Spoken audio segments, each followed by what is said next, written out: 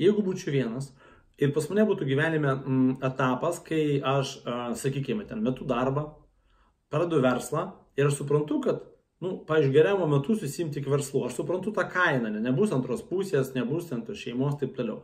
Aš galiu pusę metų, metus, galbūt du iš tikrųjų pasinerti, kad visą energiją ir laiką atiduoti tenai, kad kažką sukurti. Po to aš aišku turiu iš ten išeiti ir kompensuoti, nu, ar pabūti daugiau būtent su šeima, su santykiu, tarp Ir toliau aš sutinku, a, aš irgi tai manau, kiek aš analizuoju, kiek aš turiu mokytojų, irgi visi taip pat elgesi.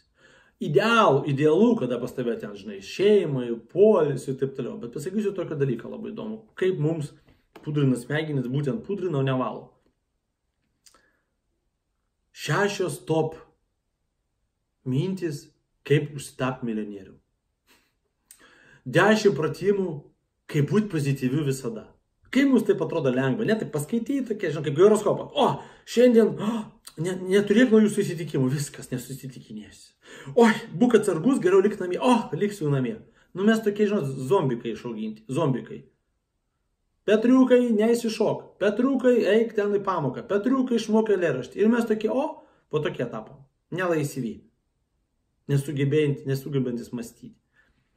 Ir todėl, nu, kaip tame gyventi? Gyvenimasgi netoks. Jis nėra standartinis, jis nėra statiškas, jis nėra tai, kad, o dabar kaip šiandien, taip ir rytoj. Nėra, jis nuolatos kinta. Milijonai kintamų dalykų. Milijonai, milijardai turbūt, ne, pasaulio, bet aš kalbu mano gyvenime, milijonai kintamų dalykų. Kairį, dešinį, viršų, žemyn, daryti, nedaryti, galvoti, negalvoti, tą, ne tą, su to, ne su to. Ir todėl aš daryčiau taip, kaip Mindagi tu parašiai.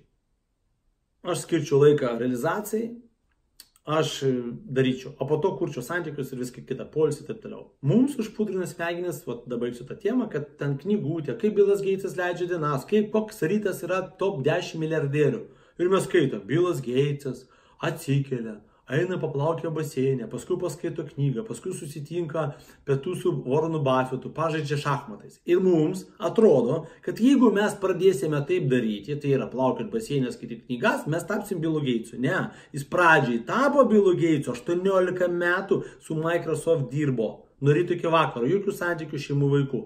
Pradžiai Kaip ir Markas Zuckerbergas, kuris sukūrė Facebooką nuo 18 metų, dirbo iki 27, kai uždirbo pirmą milijardą. Ir tai net neuždirbo, o jo kompanija buvo ten verta ir pagal akcijų skaitimų procentą pasi buvo milijardas. 27 metų jis vedė 30.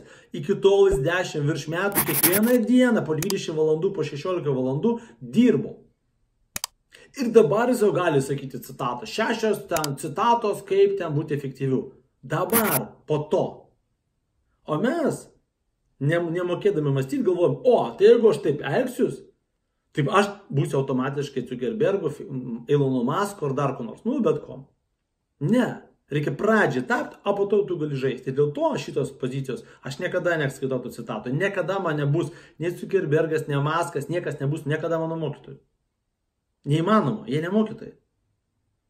Pagaunai, ir daugybė mūsų milijonierių kurie privatizavo, buvo senais laikais, gavo turtą, dar kažkas gavo, nu išsugebėjo išlaikyti fainai, bet jų negalima klausyti. Jie net kartos to pačio su, jeigu dabar bankrotuotų, jie ne, neatsikeltų. Ir todėl jie žaloja jūs savo to gyvenimo būdu.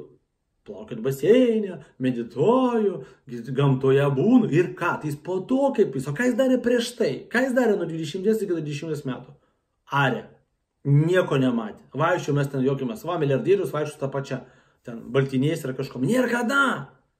Tu tik dirbi. Yra toksai geras produktas GoPro kameros. GoPro kameros. Paskaitykite istoriją, kaip jie kūrė. Jie ten 2 ar 4 metus gyveno namūkė ir eidavo įsisioti į kiemą, nes arčiau negu į tualeto. Išsinamavo visi, komanda namą. Ir ten dirbo. Tik ten dirbo ir visą laiką, ten po 20 valandų, niekur neėjo, jokių ten, nieko, tik ten. Ir jis sukūrė milijardinę kompaniją GoPro kameros. Va tokias reikia istorijas, realiai. O mums tas populistika, žinot, toks vai, žmonės, ten žurnalas, dar kažkokia, matot, fainai gyvena. Va, ir galvoju, jeigu aš taip gyvensiu, tai aš būsiu Bilas Gates. Be abejo, jeigu ten rašys, ariau, sunkiai darau, ten tą, oi, niekas norės skaityti. Žmonėsgi nori serialų, mėgautis, pramogų.